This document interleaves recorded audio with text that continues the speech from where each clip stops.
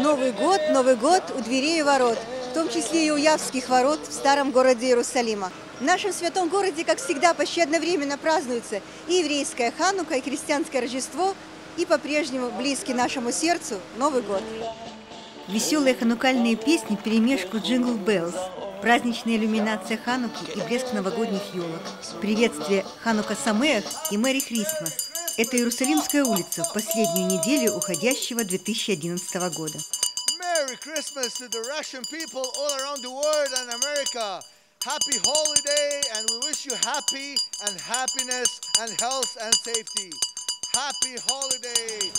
Ханукальные пончики, роскошно украшенные глазурью и кремом, едва напоминали традиционный суфганиот, но именно они пользовались особым спросом у израильтян и у туристов, приехавших на Рождество.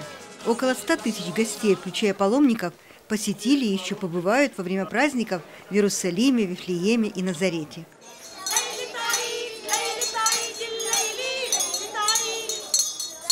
Детишки из христианского детского сада совершили свое традиционное рождественское шествие к старому городу.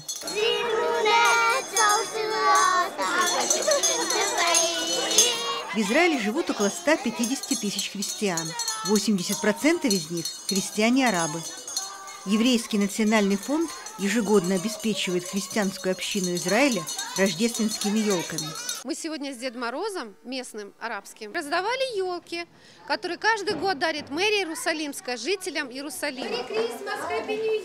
Много-много лет я Снегурочка, можно сказать, почти всю свою жизнь сознательную. Я была Снегурочкой в Московской филармонии, я была Снегурочкой в Подмосковье в Дворцах культуры. Я была Снегурочка в самых разных спектаклях. И остановиться невозможно. И слава Богу, потому что это столько любви и радости всегда. Я не знаю, кто ребенок, они или я.